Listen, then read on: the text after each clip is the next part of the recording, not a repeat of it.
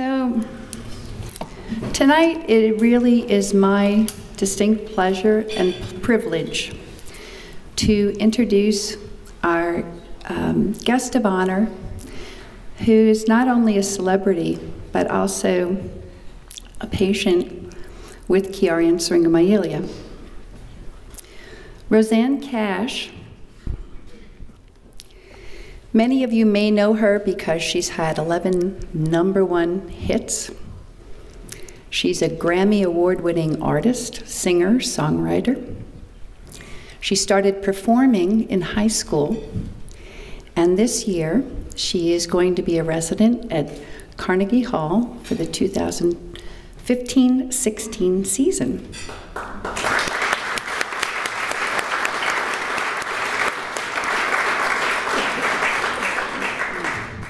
Perhaps you don't know that she's published children's books. She's a fabulous author. She's a New York Times columnist. And she's written an, her intimate story in a book called Composed.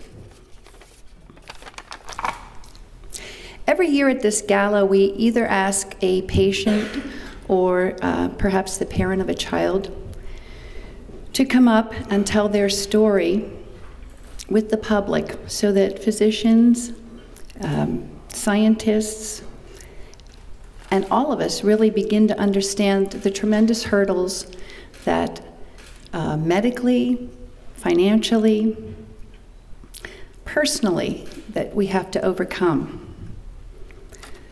Rosanne is here because she shares a common thread with everyone in this room. Chiari, syringomyelia, related disorders.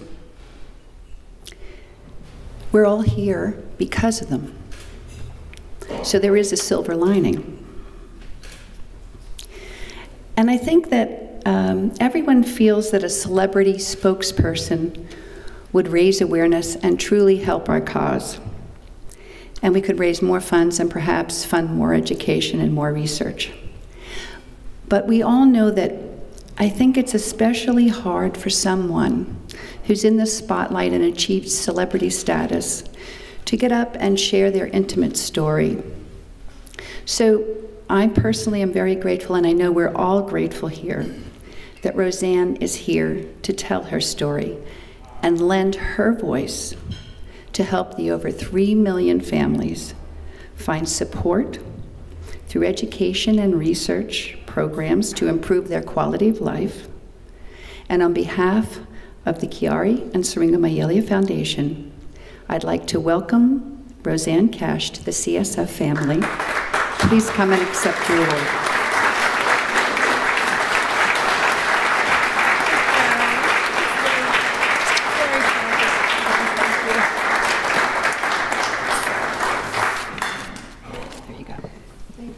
I think my neurosurgeon should actually receive this award, not me. But thank you. I am honored and delighted. Do you want to sit down? You don't want to stand up here for this whole time. I would feel so bad for you. Um, it's, I'm really delighted to be here, and thank you, Dorothy, so much.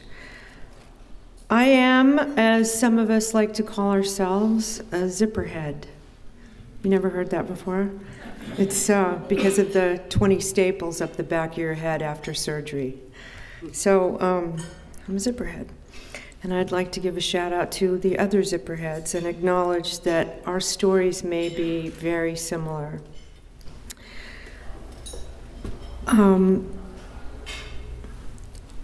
I'm happy to get a chance to tell my story as I've really only told a very few people much more than just the basics. Um, you seem like a demographic I could bond with.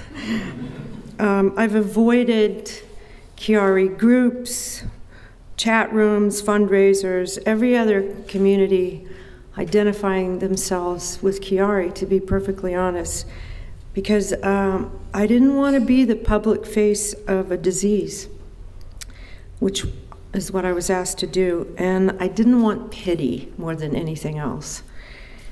I wanted my life back. I wanted to write and create music, and I wanted to enjoy my families. And in some ways, I know that was sort of selfish, uh, as I could have used my public persona to bring attention to a condition that could use wider acknowledgement and research. I just couldn't find it in myself to do that. I mean, I'm a performer, but in some ways I'm shy, as many performers are. I have to say, though, a couple years after surgery, I was the cover girl on that sexy publication, Neurology Now. but that has a very limited audience. But after the surgery, I wanted to move on, and I've done that to a great degree. And so now I feel more comfortable talking about it with some distance and from the vantage point of recovery. And also, this is the first organization that I found that is sensible, serious, and focuses on recovery rather than carrying the disease as a victim and a banner. So, my story. Dor Dorothy says, This is your moment to tell your story. I had headaches for most of my life. And you can become accustomed to just about anything, and I did become accustomed to them. But starting in 1996, the headaches got worse, and I started noticing other symptoms that much later I found out were due to a compromised and scarred brainstem and a syringomyelia that was somewhat narrow, but that extended down almost the entire length of my spine, and which still does. So, for the first time in 96, I saw a neurologist. She said I had cluster headaches.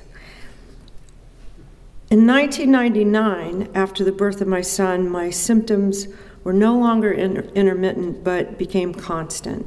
So I changed neurologist, and the new neurologist said I was having a combination of atypical migraines as well as cluster headaches, occasional thunderclap headaches, meaning they were like getting hit in the back of the head with a brick, complicated by perimenopause and stress. I find a lot of women get told that it's your hormones. uh, no medications worked for me, so I became a spa junkie. I massage, acupuncture, any manner of alternative therapy that would give me relief for a day or two or three, and that's how I lived. I performed, I made records, I wrote books, I raised children. I hid from my husband just how often I went to the spa, and I hid from him how bad the pain was. I didn't want to kill our romance by being perceived as someone who was in chronic pain.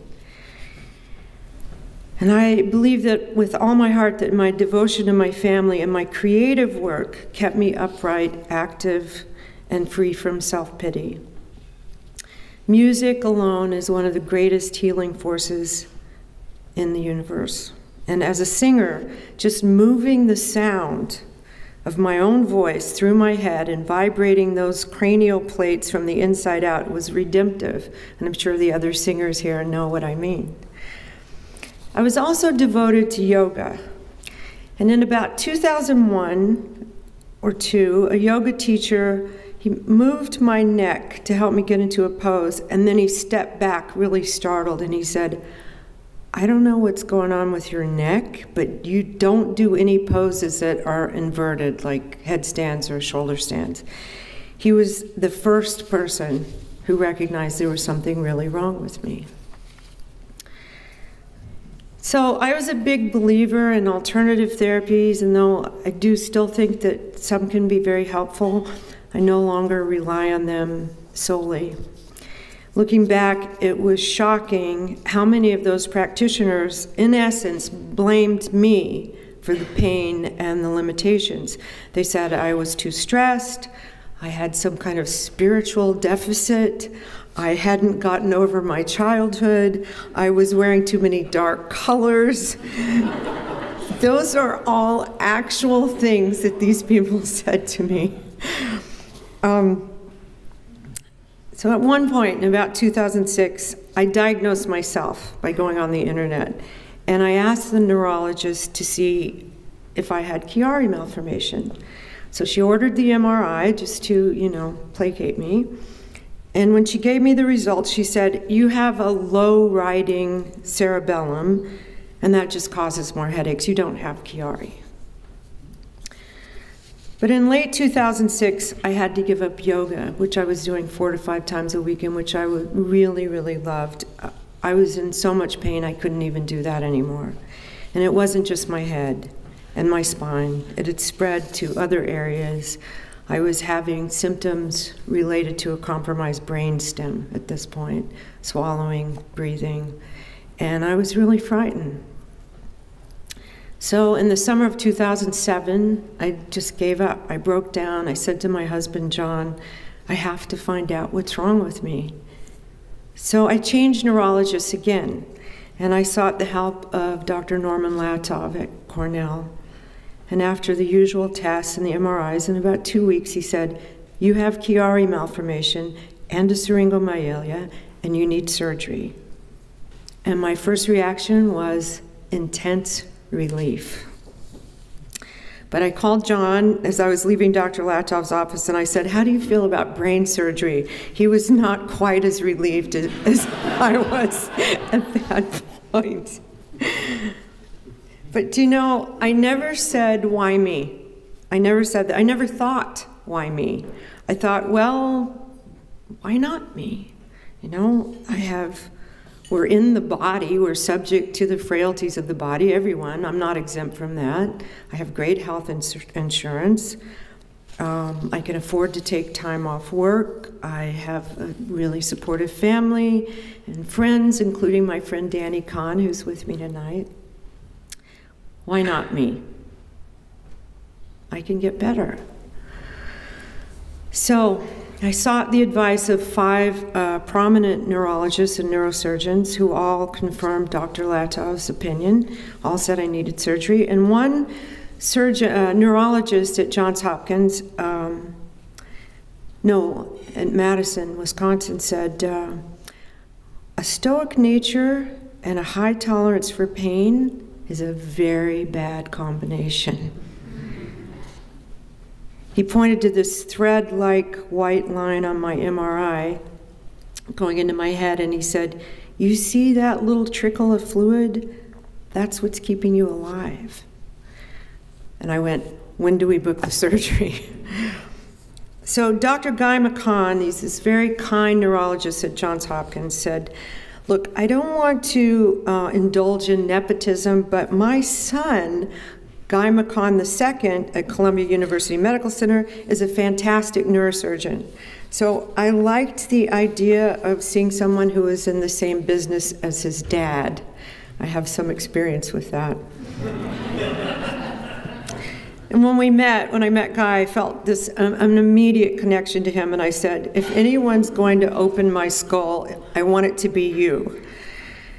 So, a couple of weeks before the surgery, Guy said to me, um, You have to psychologically prepare yourself for this.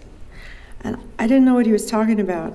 You know, I, I knew it would be tough. It's a surgery, but I knew my own resilience, and I'm a tough person. And I had concerts booked for four months after the surgery, and I figured I'd be fine. Gonna make these. My main fear was that messing around with my brain would make me lose my ability to feel the beauty of music. So I asked Dr. McKhann about any data on that, and he said, That's a question for a mystic, not a surgeon. So I wrote a letter to Oliver Sacks. and I had recently met him at a party, and I asked Dr. Sacks if he thought that surgery for Chiari malformation would affect my ability to create or enjoy music. He wrote back this typewritten, ink corrected letter that looks like a holy relic, which I, of course, saved. And it said, in essence, your problem is your cerebellum, and my expertise is the cortex, so I can't really answer you, but I do know how important it is to you. And just that made me feel a lot better. So I had decompression surgery and a laminectomy on November 27th, 2007. The eighth anniversary of my surgery is this coming Friday. The morning of the surgery, Dr. McKhann came into the prep room with this posse of adorable residents and said, How did you sleep? I said, No. The pertinent question is, How did you sleep?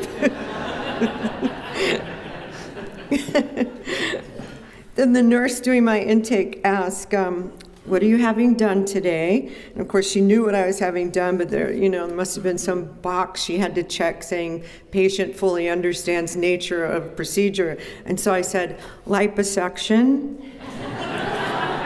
and she's, this poor woman went white. And my husband muttered, he said, stop torturing people. So then the anesthesiologist came in and I asked if I could please walk into the OR rather than be wheeled in. I said, I just feel so much better if you just let me walk in on my own steam. And he said, That's fine with me. So as we walked through the double doors, he leaned over and he whispered, I've done this twice before and it turned out well both times. so I walked into the OR laughing my head off, which was a great way to go into a six hour surgery. so Dr. McKhann told me afterward that my Chiari was, quote, impressive 15 millimeters. I know. And look at me now. So there was um, significant scarring on the dura around the brainstem, which he cleaned up.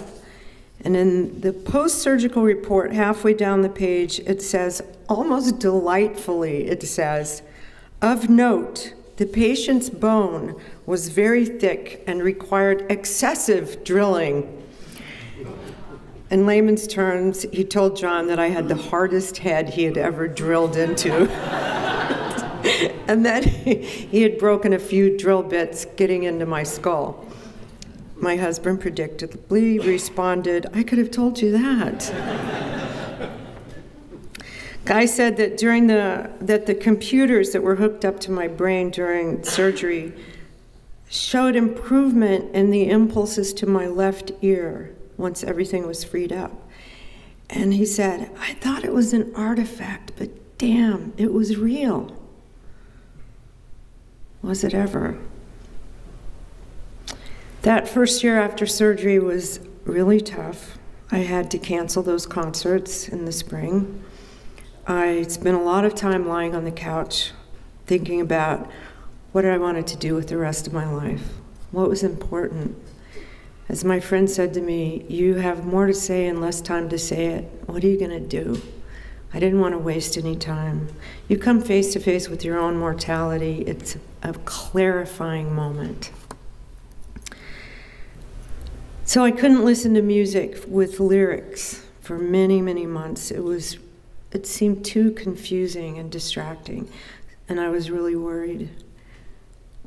I got out my piano books from elementary school, and I started reteaching myself all those old simple pieces that I had learned as an eight and nine year old from the nuns. And music started coming back to me. Or I started coming back to it slowly. But the real enjoyment of music came back in a flood about a year after surgery. I was so ecstatic and so relieved. Now that's anecdotal, of course, but it's perhaps it's significant. And um, my friend Dan Levitin, who's a neuroscientist and a musicologist, he keeps threatening to do a peer reviewed study about this, you know, this music thing that came back. And maybe I love music more now just because it was harder to experience through this veil of chronic pain. But maybe those improved neural impulses to my ear that Guy McKhann saw, maybe they do mean something. But whatever the answer, the surgery gave me my life back gave me more free access to the beauty and the mystery of one of the greatest healing forces of all. And I'm doing my best work now. I won three Grammys this year for my last album.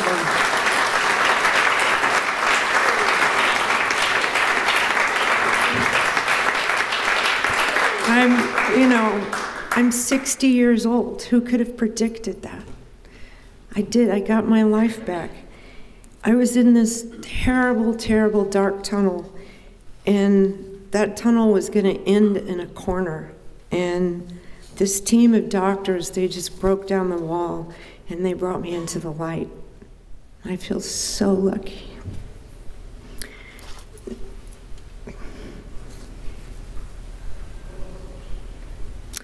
So if I get stressed out or there's a storm coming, you know, I get this headache. but it's like normal people might get. And, uh, you know, I still have issues, but people live with a lot worse. I can't do a lot of yoga poses, but I can do a lot. Not all of them, but a lot.